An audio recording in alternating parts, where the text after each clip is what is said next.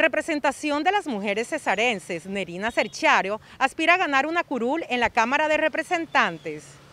La Vallenata cuenta con una gran trayectoria en labores sociales en el área de la salud con los campesinos y comunidades indígenas. Una mujer que ha venido trabajando por nuestro departamento a través de administración de proyectos en salud y educación y hoy tiene una expectativa y coloca a consideración su nombre para representar bien mi departamento, porque mujeres, aquí tendrán una mujer para respaldarlas, para estar ahí enfrente de sus necesidades, buscar proyectos en pro de la mujer, porque la verdad, las mujeres sí podemos, sí somos idóneas y sí somos capaces. Pues Nerina ha venido desarrollando una labor social a través de programas, administración de programas en salud y educación a, a, las comunidades indígenas y campesinas de nuestro departamento. Que soy una mujer capaz e idónea de representar nuestro departamento. Mujeres, vamos a enfocarnos en una mujer, tener, hacer historia, tener la primera mujer representante en nuestro departamento,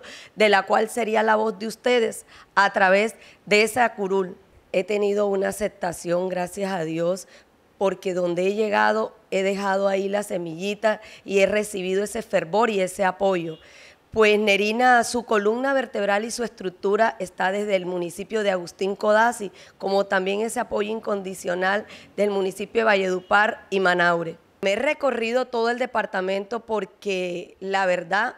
para ser representante, seré representante de los 25 municipios, de los cuales he ido visitando cada uno de ellos para enfocar y vivir la necesidad que cada uno de ellos tiene y sentir el fervor de un pueblo y la necesidad del pueblo de respaldar a Nerina U103. Yo me enfocaría más y es lo que le estoy apuntando a esas mujeres, madres cabezas de hogar, que la verdad les toca duro y soy un ejemplo de ellas. En su momento tuve que abandonar nuestro país por no tener oportunidad así para representar ese espacio de mujeres abandonadas, dejadas a un lado, echadas a un lado por no tener un espacio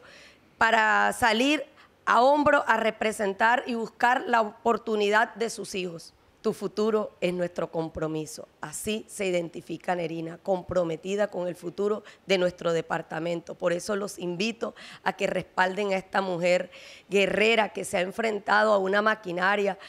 a un músculo financiero, pero aquí estoy dejándoles mi nombre a consideración porque tendrían una buena representante, una mujer ejemplo de lucha, entrega y compromiso marcando el logo de la U y el número 103 estarían dándole la oportunidad de tener esta valiente mujer como representante de nuestro departamento.